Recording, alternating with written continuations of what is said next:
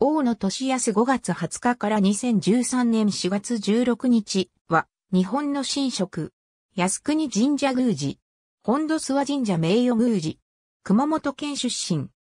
1943年10月、神宮工学館大学再試専攻科に入学したが、学徒出陣により、同年12月1日、陸軍西部16部隊に入営。1944年6月、第3期特見竿として、熊谷飛行学校に入校したものの、訓練未了のまま終戦を迎えた。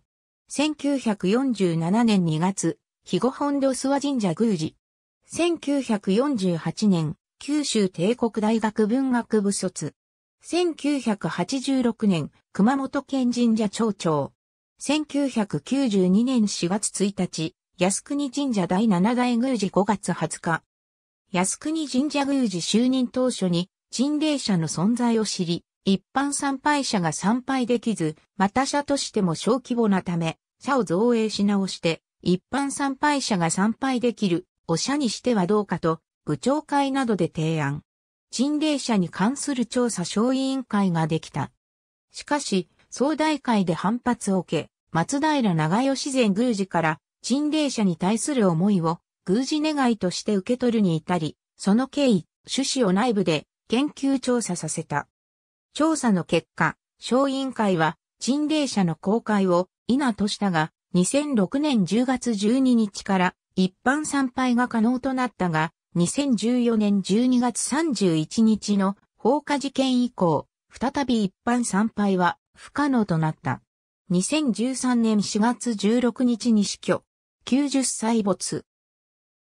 陳霊社は、靖国神社の本師とも言える、明治天皇の聖子とは異なる、五社であることを、まずもって認識せねばならない。また、靖国神社社権の全文に、本神社は、明治天皇のおぼしめしに基づき、嘉永6年以降、国事に準ぜられたる人々を放災し、長くその祭祀を採用して、その御霊を包囲し、その漁名を万代に検証するため、明治2年6月29日、創立せられた神社であるとあり、次に、宗教法人、靖国神社規則の第一章総則の第三条には、本法人は、明治天皇の乗らせたもうた暗黒の聖史に基づき、国事に準ぜられた人々を放祭し、神道の祭祀を行い、その神徳を広め、本神社を信奉する祭人の遺族その他の数形者を、強化育成し、社会の福祉に寄与し、その他本神社の目的を達成するための業務及び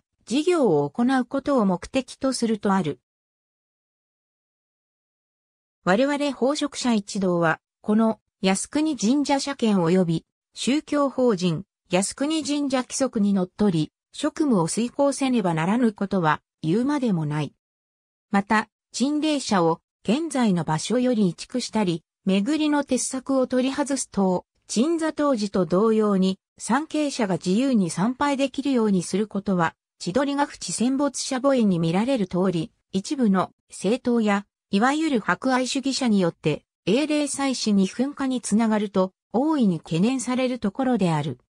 よって、少々は、昭和40年、陳霊社鎮座以来、今日まで、厳粛に奉仕されてきた祭祀に鑑み、陳霊社を、今後とも、現状のまま、密かに放載続けることを見解とする。以上。熊本日日新聞2013年4月18日。ありがとうございます。